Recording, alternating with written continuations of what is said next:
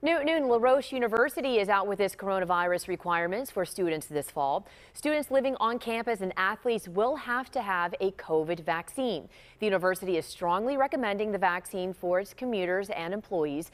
Face coverings are also required inside all of its buildings, regardless of someone's vaccination status. Classes begin August 23rd.